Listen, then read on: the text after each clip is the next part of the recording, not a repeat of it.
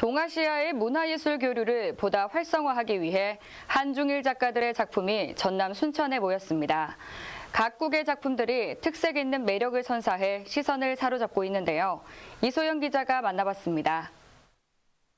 순천 지역에서는 지난 7일부터 2021 동아시아 문화도시 한중일 예술가 교류전이 2차에 걸쳐 열리고 있습니다. 2021년 동아시아 문화도시로 지정된 한중일 3국의 도시 중 순천시가 지원한 이번 전시회는 순천시 창작예술촌 조강훈 아트 스튜디오와 중국의 랴오닝 대학교 서화연구원에서 공동 기획한 국제 교류전입니다. 1차 전시는 동아시아 평화의 조각 순천만 동아시아를 품다라는 주제로 조강훈 아트 스튜디오, 다다 갤러리, 갤러리 작업실의 오후 세 곳에서 총 80여 점을 오는 20일까지 선을 보입니다. 동아시아 한중일 3국 예술가들의 중국화, 수묵, 유화, 수채화, 설치 작품 등 다양한 작품으로 개개인의 삶과 도시가 간직한 기억, 그리고 도시 문화에 대한 탐색 등을 표현해내 관람객들의 눈길을 사로잡고 있습니다.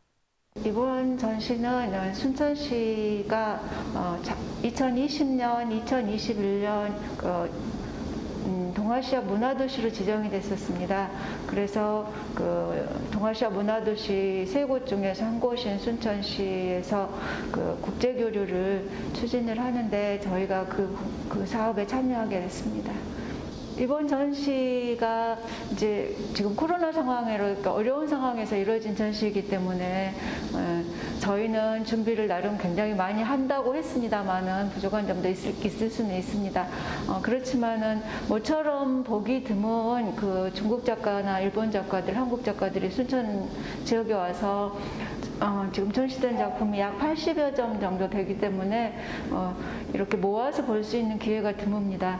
이번 기회에 이렇게 어, 방역 수칙 잘 지키면서 한 번씩 오셔서 어, 관람하시면은 어, 코로나 상황에서 좋은 치유 역할을 할 수 있을 것 같습니다.